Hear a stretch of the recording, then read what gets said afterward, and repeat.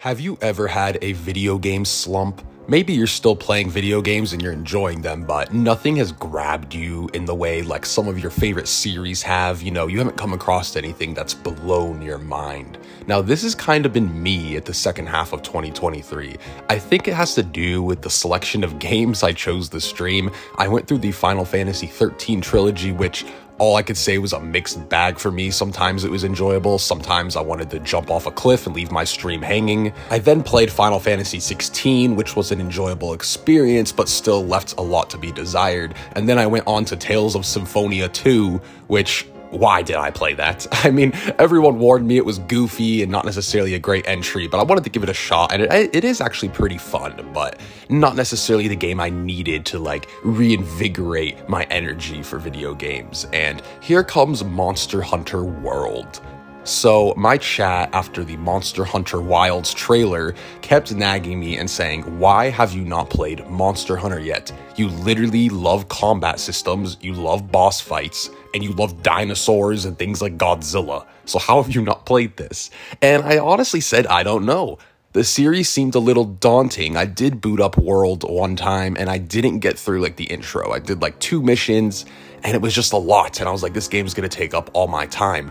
So it seemed very daunting, but it isn't actually as daunting as you may seem, because you could kind of hop into any monster hunter and you will learn the loop and kind of how the game plays. In today's video, I wanted to just go over my experience starting Monster Hunter World in 2024 and how much this series has come to be one of my favorites now. And hopefully this can inspire some new players to try the game or just have some Monster Hunter fans enjoy hearing how much I love getting into one of their favorite games. I do hope you guys enjoy.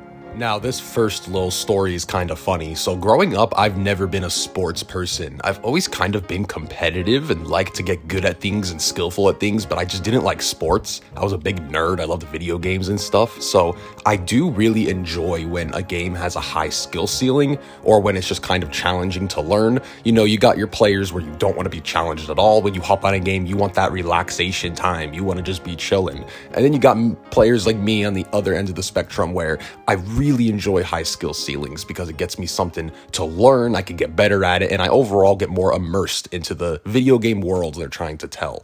And Monster Hunter is very much that style of gameplay. Hell, I was trying to just hit the monster for the first two hours, and you could barely hit these things because it's just so hard to kind of get the ropes with the weapons. It's not necessarily hard, but it's a lot. Each of these weapons has so many different combinations you can do I am over a hundred hours now in Monster Hunter World, and I still sometimes will pull off like a combo, and I'm like, how did I do that? I, I, didn't even know you could do that. Or I'll slide down a slope or something in my environment and do a whole new move, and I'm like, wow, I didn't even know that.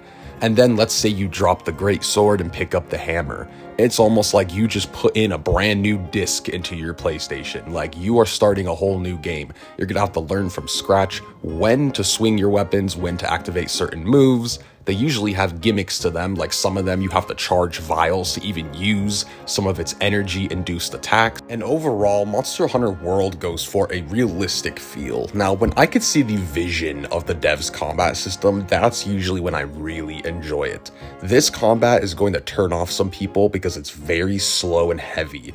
It's very methodical in that you have to know where you're placing yourself and when you are going to swing or you're going to get punished. You cannot button mash whatsoever. And most of the time, you're going to feel pretty slow. But when you get it down, it just feels right. That's all I could explain it. One of the most satisfying combat systems I've ever played. When you jump off a cliff and slam a Rathalos in the face with a hammer, or when you fly up into the air with the katana to do some crazy anime moves it is so satisfying because it took work to get there. It took a little bit of skill for you to learn how to use those weapons and how to approach whatever monster breed you come across. Now, once you figure out what weapon you want to use and pretty much kind of how you want to start your build, you get into the loop of the game, which I'll explain briefly if you don't know it. Monster Hunter doesn't have a story first and foremost, like you do have a story going on, but most of the time it is about the gameplay in the world. You're going to be picking up quests around your hub, basically making yourself totally prepared and then you're going to go on your little hunt and you're going to go into kind of a mini sandbox i like to explain it. They're these small biomes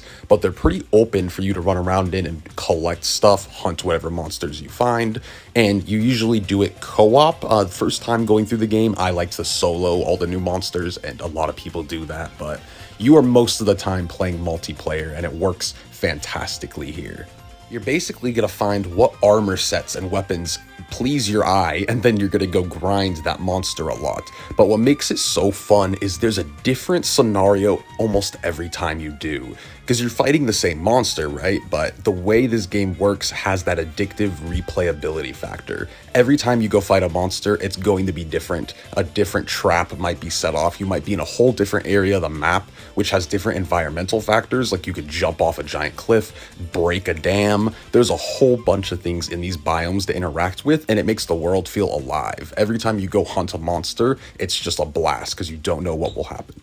And then grabbing the loot at the end is always fun because you never know exactly what you're going to get, or you can build armor pieces to give you higher rewards. So there's a whole bunch here to make the loop very addictive. So if you like grinding for armor pieces or builds and stuff, you will very much enjoy this game, in my opinion. And the other thing I want to praise so much is the multiplayer. Multiplayer in games like this I've come across have two big issues. One issue is clarity. I can't usually see what my teammates are doing. Like there's too much on the screen or it's even just lagging a little bit and like you can never tell what your teammates are doing. And then the other one is it's just too unbalanced. Like if you're playing a multiplayer game like this, sometimes your teammates will be too strong or you'll be too strong and then the fight just blows over and you didn't really do anything. Monster Hunter World literally got it perfect and it blew me away every time you are going to see so clearly what your teammates are doing. Like you'll be fighting and someone will fly totally off screen and slam on top of the monster and mount it, and you will see all of it totally smoothly and it never feels like one person is just taking the whole fight in their hands. You are all working together and it just flows really well. I was genuinely shocked at how much I love the multiplayer because it doesn't take away from anything. It actually adds to the enjoyment of the game, which in my opinion is very hard to do. And then once you go into the world and see how much you could actually interact with the environment the immersion and ecology factor is just so good. I love collecting monster tracks and upgrading the monsters, learning their weaknesses and stuff. I love just collecting little animals and plants around the environment. There's so much to do and craft and build. The content never stops flowing. You'll keep increasingly meet new monsters and then you'll go look at armor pieces and you'll be like, wow, I love this one. And then a new one will unlock and you'll want that one. And it just keeps on going. And when you see the effort put into these armor pieces, it's kind kind of crazy.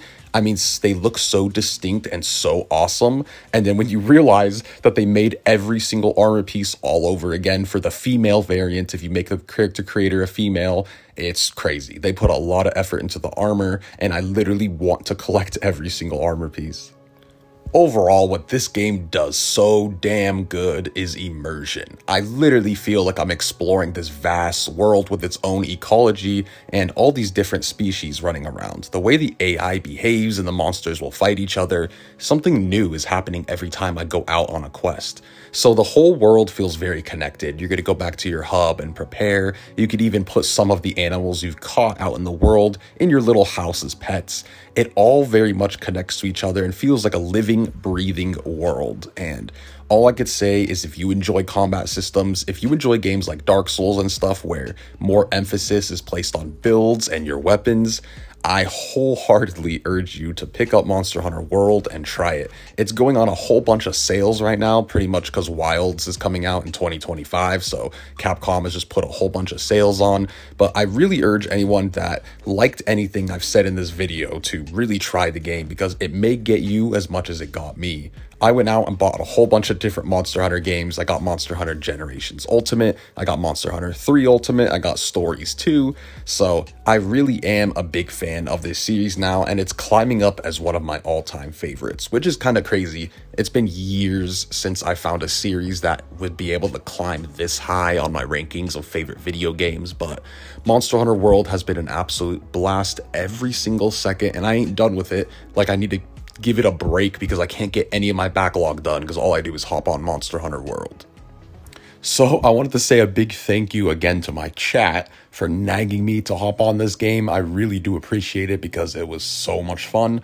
And I hope you guys enjoyed this video as a whole. Hopefully this reached a few new fans to maybe make you guys want to try out Monster Hunter. I just want to spread the love and talk about how good this game actually is. So yeah, if you've never played this game, I urge you to check it out, especially if you enjoyed what I've said in today's video. And regardless, hopefully you guys enjoyed hearing my Monster Hunter world story. I'm so happy to be a part of this series now and basically be excited for Wilds coming out. So That's definitely going to be awesome. So yeah, I had to get a video out just talking about my Monster Hunter experience in 2024.